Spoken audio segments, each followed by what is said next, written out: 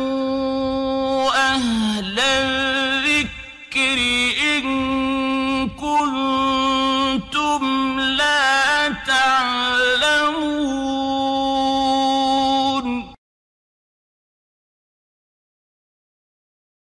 রহমতুল্লাহ বারাকাতুহ অমুসলিম আহ, দের সাথে অমুসলিম বান্ধবীর সাথে ওঠা বসা করা এটা শুধু ইসলামের দিকে আকর্ষণ করা, ইসলামের দিকে দাওয়াত দেওয়ার উদ্দেশ্যে জায়েজ। বাকি তাদের সাথে এমন বন্ধুত্ব করা জায়েজ না, যেটাকে অন্তরঙ্গতার পর্যায়ে বলা যায়।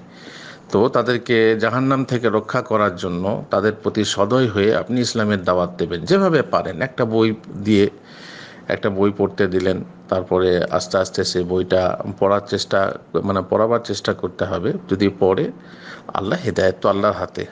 হেদায়তের মালিক আল্লাহ। আপনি কারণ ব্যবহার করবেন, আপনি উপায়, ওসিলা ব্যবহার করবেন, আল্লাহর ইচ্ছা হলে হেদায়ত পাবে। বই দেওয়ার মাধ্যমে শিক্ষিতা বান্ধবী, আপনি একটা বই দেবেন মানে প্রাথমিক পর্যায়ের বই। সে ইসলাম সম্পর্কে জানার জন্য বই। ইসলামের যে সচ্চরিত্রতা আছে, যে বৈশিষ্ট্য আছে, সেগুলো সম্বলিত বই। আপনি তাকে দেবেন, পড়তে ইনশাআল্লাহ, বা বাজারে বহু রকমের বই আছে। সেই বই দিয়ে আপনি হেদায়তের চেষ্টা করুন। আল্লাহ আপনাকে অনেক অনেক যাজায় খায়ের দেবেন।